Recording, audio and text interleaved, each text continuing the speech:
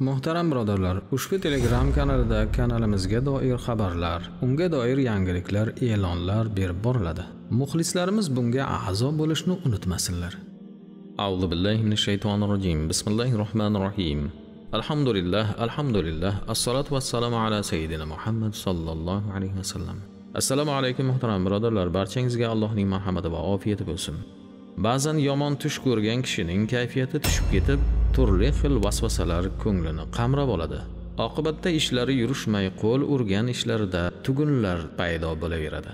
Yomon tush sehr kabi bir ta'sirga ega bo'lib nimadir noxushlik bo'lishini gumonida qat'iyatlik susayib ketadi. Qarabsizki vasvasa ishlarga salbiy ta'sirini o'tkaza boshlaydi. Shayton shaytoniy tush orqali mo'minni vasvasaga soladi. Vasvasada inson uchun zararlar bo'lgani uchun ham alloh falaq surasida insonlar qalbini vasvasaga soluvchi jin va insonlardan panoh tilashimizga chaqiradi.